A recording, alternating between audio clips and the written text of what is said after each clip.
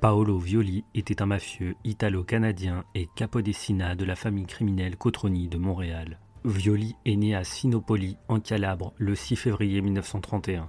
Il est issu de la mafia. Son père, Domenico Violi, était le chef du clan Violi de la Drangheta à Sinopoli. Violi a ensuite immigré dans le sud de l'Ontario en 1951. En 1955, il a tué Natal Brigante à Toronto après avoir reçu un coup de couteau de Brigante. Il a été accusé d'homicide involontaire dans un tribunal de Wayland, mais a été acquitté en invoquant la légitime défense et en montrant le coup de couteau comme preuve. Violi a obtenu la nationalité canadienne en 1956 et au début des années 1960, il vendait de l'alcool fabriqué illégalement de l'Ontario au Québec.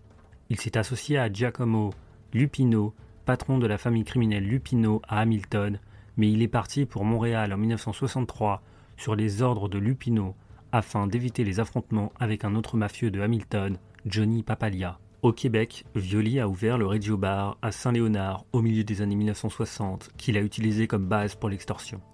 Il a développé des liens avec la famille criminelle Cotroni tout en maintenant des liens avec la famille Lupino. Il a épousé la fille de Giacomo Lupino Grazia en 1965. Durant les années 1960 et 1970, le patron Vincenzo Cotroni a utilisé son associé William Obi O'Brunt pour superviser un réseau de contrebande dans la région d'Ottawa-Hull qui traitait environ 50 000 dollars de paris par jour, donc 25% allait à Violi. Obi était également le banquier en chef et le conseiller financier de Controni, responsable du blanchiment d'argent. Pour l'Expo 67 de Montréal, O'Brunt a également aidé les Cotroni à décrocher le contrat d'approvisionnement en viande et en distributeur automatique, dont la plupart étaient de la viande invariée. En décembre 1970, son bar a été mis sur écoute par Robert Ménard, un policier en civil qui a loué l'espace au-dessus du bar de Violi pendant plusieurs années et qui a été utilisé dans des affaires ultérieures. En 1974, Violi et Cotroni ont été entendus sur une écoute téléphonique de la police menaçant de tuer Johnny Papalia, un mafieux de Hamilton, et exigeant 150 000 dollars après qu'il ait utilisé leur nom dans un complot d'extorsion de 300 000 dollars sans les mettre au courant. Les trois hommes ont été reconnus coupables d'extorsion en 1975 et condamnés à 6 ans de prison. Violi et Cotroni ont fait appel et ont obtenu une réduction de leur peine à 6 mois, mais l'appel de Papalia a été rejeté.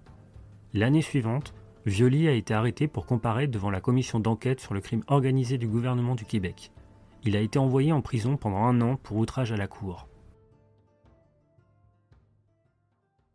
Au début des années 1970, Cotroni transfère les activités quotidiennes de la famille à son compatriote calabrais Violi avec Nicolas Di Lorio, Franck Cotroni et Luigi Greco. Le rôle de Cotroni devient davantage celui d'un conseiller pour le jeune calabrais.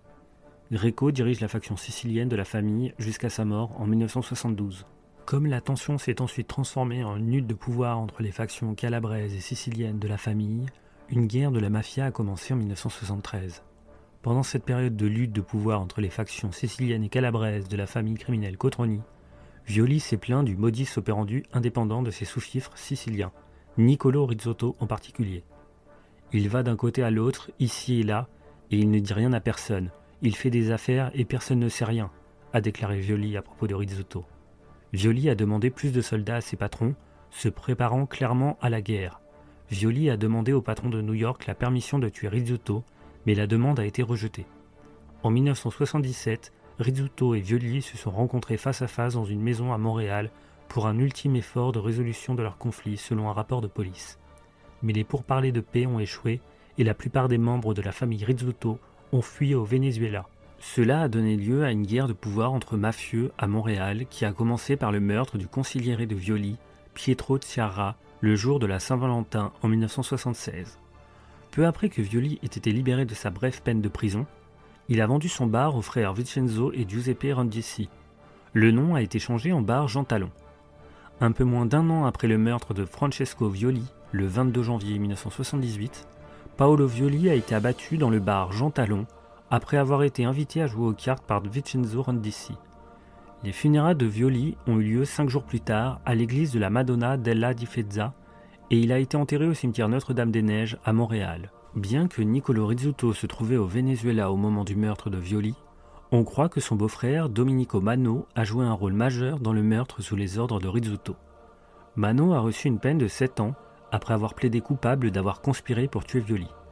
Agostino Contreras, un confident de Rizzuto, a également été poursuivi, recevant une peine de 5 ans en relation avec le meurtre de Violi. La guerre s'est terminée le 17 octobre 1980, lorsque Rocco Violi, le dernier des frères Violi, était assis pour un repas de famille à la table dans sa maison de Montréal, lorsqu'une seule balle l'a fauché. Cotroni, lui, est mort d'un cancer le 16 septembre 1984.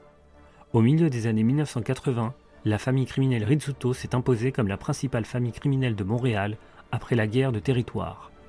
Après la mort de Paolo Violi, sa veuve et ses deux fils ont déménagé à Hamilton, en Ontario, une région contrôlée par la famille Buffalo et les familles Drangheta.